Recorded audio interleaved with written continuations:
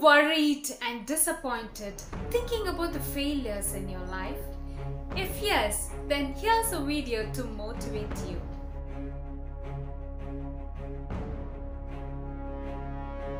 Hi and a warm welcome to my channel Dushy Mic.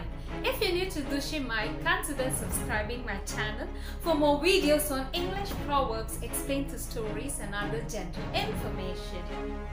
So with the title of this video, I hope you would have guessed the proverb that you're going to learn today. Yes, failure is the stepping stone to success. So let's quickly jump into the video.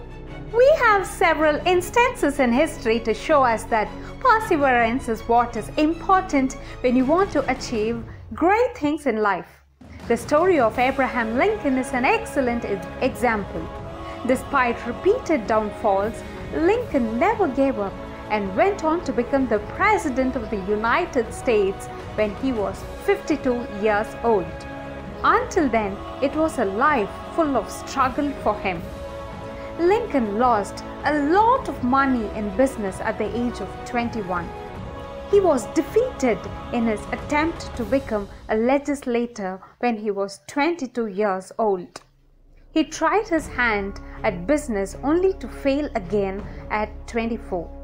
He faced the death of a very dear friend when he was 26, followed by a nervous breakdown the next year. He contested and lost two very important political elections, one for a Congress seat and the other for senatorship when he was 34 and 45 respectively. Lincoln failed in his effort to become the vice president when he was 47 and lost a senatorial race when he was 49. Any other person would have just given up, but not Lincoln. He still kept trying and was elected to the highest office of the country, the President of USA, when he was 52 years old. How inspiring, isn't it? Abraham Lincoln's life story is so true to the problem. One must not be ashamed of their failures, for those who have, would have achieved something in life would have faced multiple failures. So stop worrying about your failures, instead analyze the mistakes and blunders that you have committed in the process to failure. In the proverb, stepping stone refers to the valuable lessons that you have learned from failures. So be optimist and attain success.